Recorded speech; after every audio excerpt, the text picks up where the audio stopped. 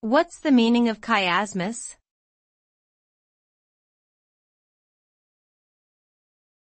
Chiasmus.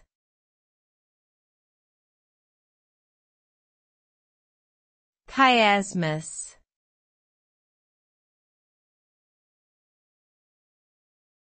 Chiasmus.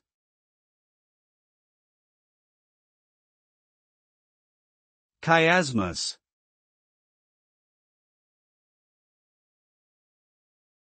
Chiasmus is a rhetorical device in which words, phrases, or clauses are repeated in reverse order to create an inverted parallelism. The result is a pattern that resembles the shape of an X, known as chiasmus.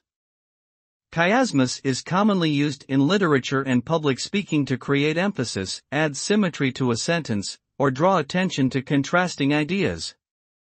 For example, John F. Kennedy's famous quote, Ask not what your country can do for you, ask what you can do for your country, is a well known use of chiasmus.